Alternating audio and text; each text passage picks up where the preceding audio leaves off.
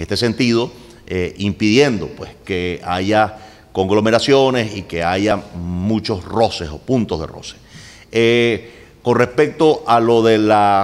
simulacro, repetir el simulacro no tiene sentido. La Alianza Democrática considera que ya que el CNE dejó las mil máquinas del simulacro en los centros mm, donde se realizaron estos, pues allí siguen estas mil máquinas para que, repito, los que sigan interesados en conocer o en saber cómo funciona la máquina, se pueden acercar. Yo les animo a que se acerquen a estos centros de votación y que pues hagan todo el procedimiento para que se familiaricen con la máquina y que constaten que la máquina es perfectamente idónea para conseguir la transparencia que buscamos en estas elecciones próximas del 6 de diciembre y me imagino pues las próximas que corresponden.